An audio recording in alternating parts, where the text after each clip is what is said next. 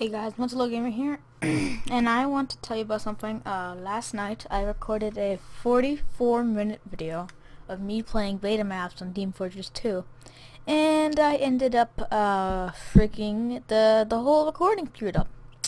And yeah, that was 44 freaking minutes. So I guess I will play again soon guys so I'll just making this quick video just so you guys know but there's supposed to be an upload today so I will uh, make a different video. Okay, I will see you guys later.